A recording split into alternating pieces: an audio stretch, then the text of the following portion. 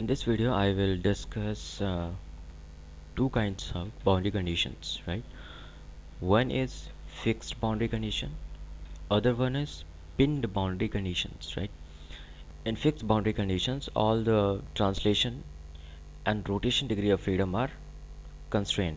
In pinned boundary condition only translation degree of freedom are fixed. So let's see how to implement these two kinds of boundary conditions in Abaqus okay? So boundary conditions are found in load module. So let's go to load module. Click on BC and manager okay? Okay let's create first fixed boundary condition. So click on create and you can name it uh, step initial and just check this one. Symmetry anti-symmetry and Encastre right?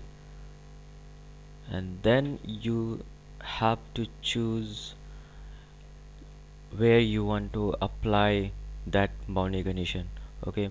So let's uh, let's see. I want to apply the boundary condition on this edge. Okay. You can choose multiple edges but right now I am going to choose this one. Okay. So let's click on done.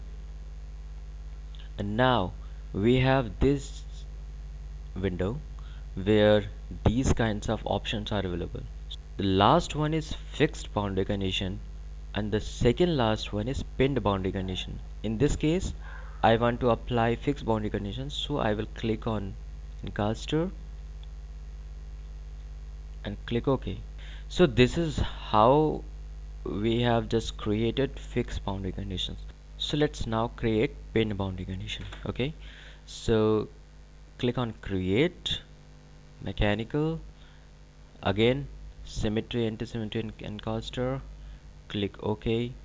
Now again choose some edge or face where you want to apply that you know boundary condition. I will choose this vertical edge and click done. Click on this pin. So I will click OK. So this is how pin bound so this is how we create fixed boundary condition and pinned boundary condition in Abaqus thanks for watching